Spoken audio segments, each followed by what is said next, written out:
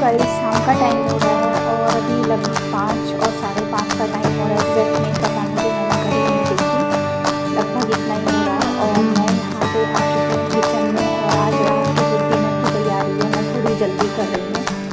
क्योंकि दोपहर में एक बजे के आसपास हमने लंच किया था।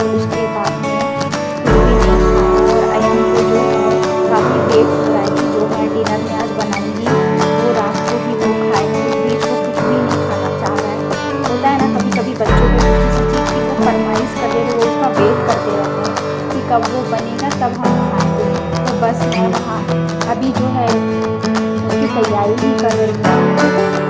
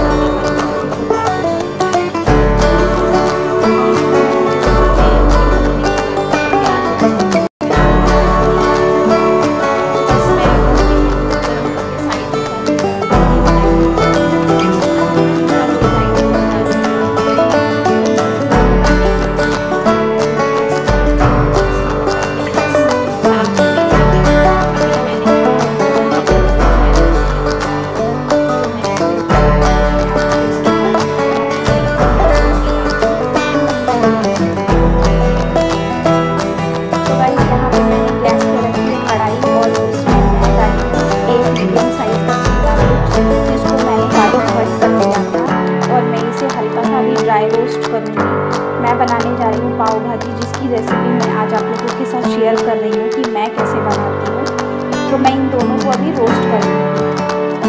इन दोनों का मॉइस्चर एकदम अच्छे से मैंने ख़त्म कर दिया है और इसके बाद मैं इसमें डाली हूँ हरी वाली जो पत्ता, प्याज आते हैं वो, सब्ज़ियाँ काटी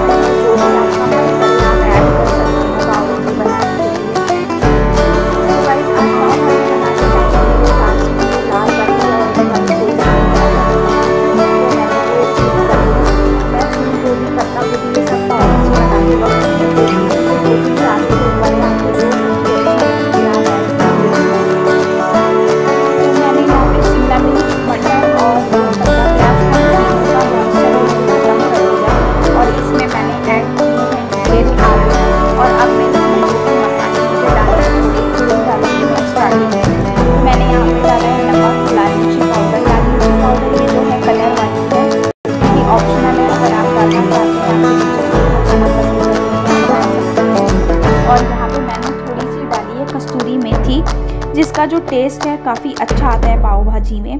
अगर आपने एक बार भी अभी तक पाव भाजी में कस्तूरी मेथी ऐड नहीं किया तो एक बार आप ज़रूर ऐड करके देखिएगा।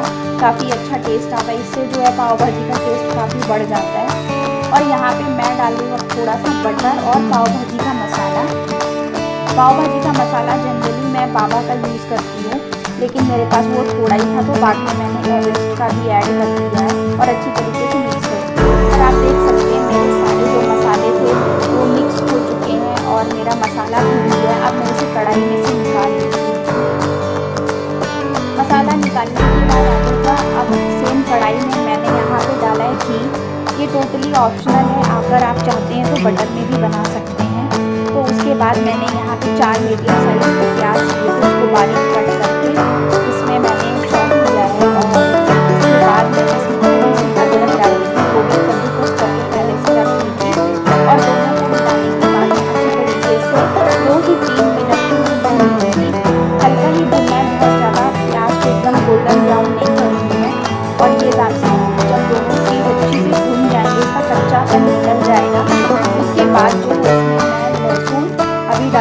और उसके बाद में मैं डालूँगी टमाटर गाइस आप देख सकते हैं कि मेरे प्याज जो हैं दो से तीन मिनट में भुन गए हैं।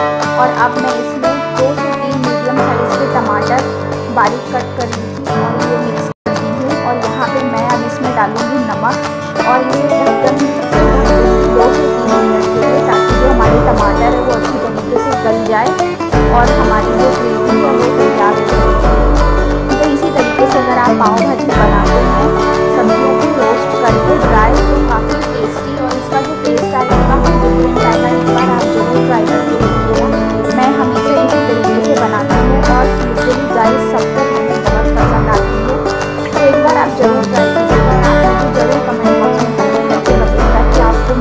तरीका बनाने का लगा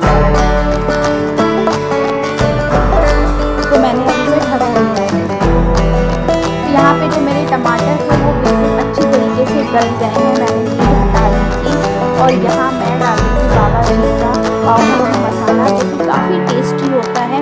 बहुत पहले से मैं एवरेस्ट का यूज़ कर रही थी, लेकिन दो तीन महीने पहले से मैं ये वाला यूज़ कर रही हूँ। मुझे बहुत पसंद आया है और यहाँ मसाले डालने के बाद पाव भाजी के अलग अलग डाले, क्योंकि मेरे पास पाव भाजी का मसाला ज़्यादा बाबा जी वाला था नहीं तो मैंने एवरेस्ट का भी यूज़ कर लिया। और सारे मसाले डालने के बाद मैंने जो आलू और सारी जो सब्जियों का मिक्सचर था, वो इसमें मिक्स कर दिया। और अभी दाल पाव भाजी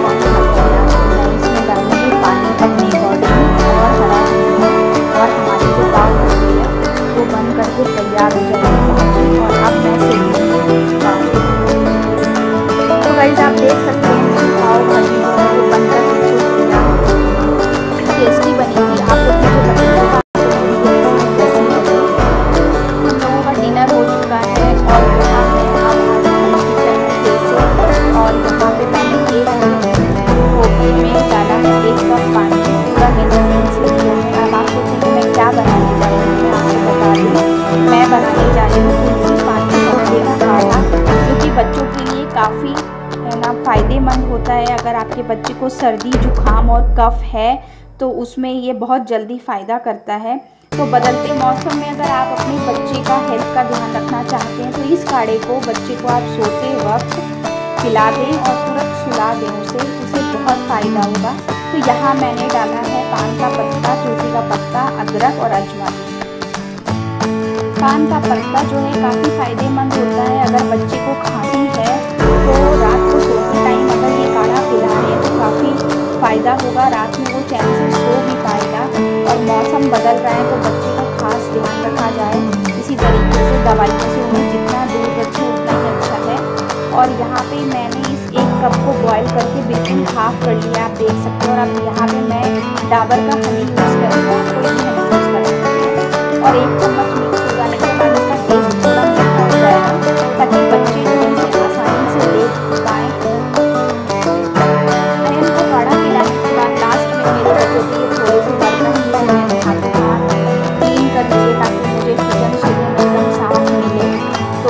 下来，给 anggotanya jelas.